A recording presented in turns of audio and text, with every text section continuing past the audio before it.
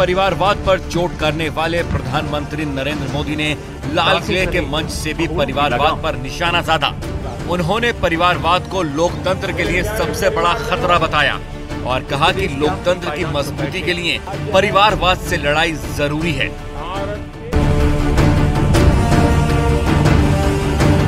एक तरफ़ प्रधानमंत्री ने परिवारवाद पर करारा हमला बोला वहीं उन्होंने कहा कि उनके जीवन का एक ही मकसद है, और वो है लगातार देश हित के लिए संघर्ष करना। लोगों प्रधानमंत्री ने साफ़ किया कि लोकतंत्र की मजबूती के लिए परिवारवाद का खात्मा ज़रूरी है, क्योंकि परिवारवाद और भाई भतीजावाद प्रतिभा के दुश्मन होते हैं, और इनके रहते ना तो देश का विकास हो सकता है और ना ही समाज का।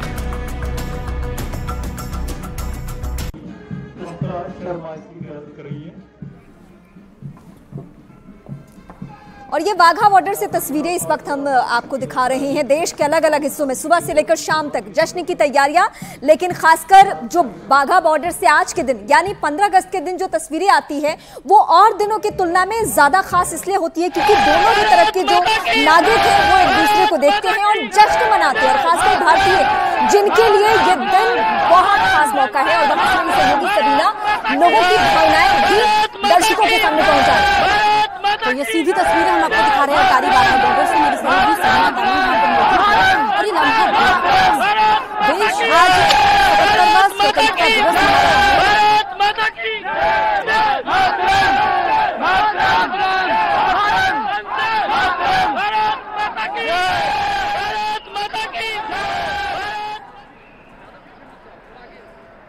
सरहद की सुरक्षा करना कोई बच्चों का खेल नहीं। और यही वजह है कि सरहद की सुरक्षा में हमारे वो जवान तैनात रहते हैं जिनके पास होती है दहाड़ने की ताकत। वो ताकत जो दुश्मन को पल भर में चित करना भी जानती है और दुश्मन को दोबारा खड़ा होने का कोई मौका भी नहीं देती। हम जानते हैं कि हमारी भारतीय जवानों के अंदर की उस ताकत ने ही आज तक देश को सुरक्षित रखा है, देश की सरहदों को महफूज रखा है। यही वजह है कि अटारी वाघा बॉर्डर पर या उन तमाम बॉर्डर पर जब आप जाते हैं तो महसूस करते हैं जवानों के इस शौर्य को जवानों की इस वीरता को जवानों के उस पराक्रम को जो, इस वक्त हम और यहाँ मौजूद ये तमाम लोग कर रहे हैं जो रात से ही यहाँ पर आए हुए हैं।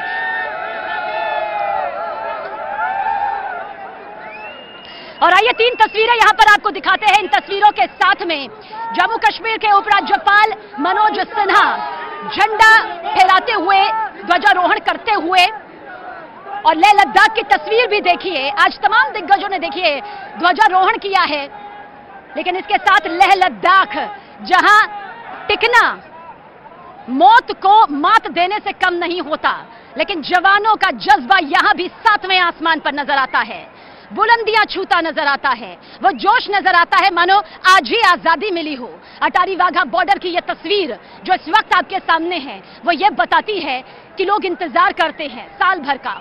देखिए, यहाँ पर बीटिंग रिट्रीट सेरेमनी होती ज़रूर है, लेकिन 15 अगस्त की बहुत खास हो जाती है ये शाम जो कुछ देर बाद आपको और जोश सराबोर से लबरेज नज़र आएगी।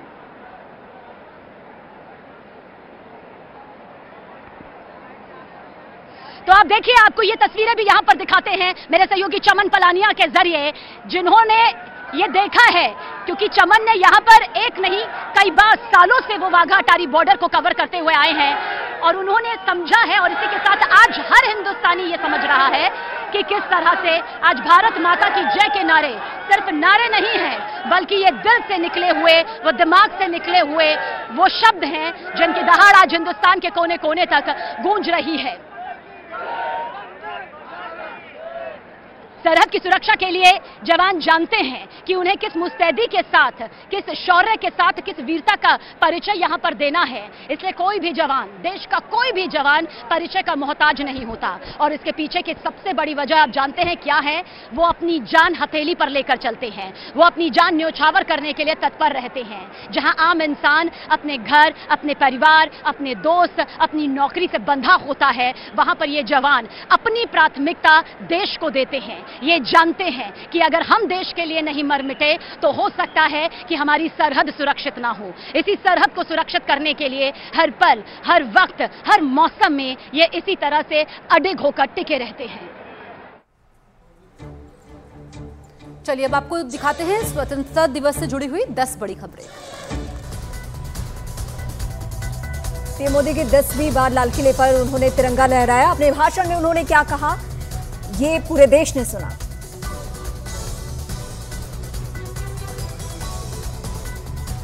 हर बार की तरह इस बार भी पीएम मोदी ने लाल किले पर आए बच्चों को निराश नहीं किया। पीएम मोदी बच्चों के बीच पहुँचे, उनसे बातचीत की।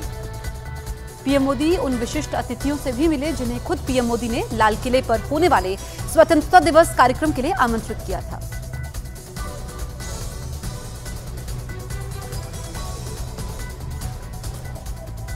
सबसे पहले पीएम राजघाट पहुँचे, जहाँ उन्होंने महात्मा गांधी की समाधि पर फूल चढ़ाए और उन्हें नमन किया, श्रद्धांजलि दी। स्वतंत्रता दिवस के मौके पर लद्दाख के लेह में आज़ादी का जश्न मनाया गया। इस मौके पर कलाकारों ने डांस कर एक दूसरे को बधाई भी दी। पूरा देश स्वतंत्रता दिवस के जश्न में डूबा है। देश की नौसेना ने भी अपने तरीके से देशवासियों को आज़ादी के इस महापर्व की बधाई दी और स्वतंत्रता दिवस का जश्न मनाया। सतहत्तरवें स्वतंत्रता दिवस के मौके पर इंडियन कोस्ट गार्ड ने अनोखे अंदाज में तिरंगा फहराया। तमिलनाडु के रामेश्वरम में इंडियन कोस्ट गार्ड ने समुद्र के अंदर झंडा फहराया।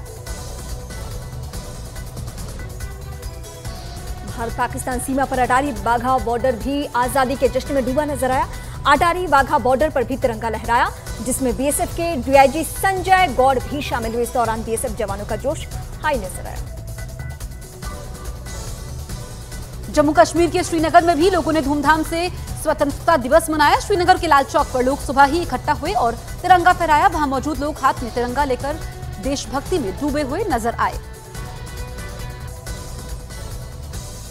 आज़ादी के महापर्व पर बद्रीनाथ धाम में भी तिरंगा फहराया गया। आईटीबीपी के जवानों समेत वहाँ पहुँचे भक्तों ने ढोल नगाड़ों के साथ बद्रीनाथ मंदिर के परिसर में तिरंगा लहराया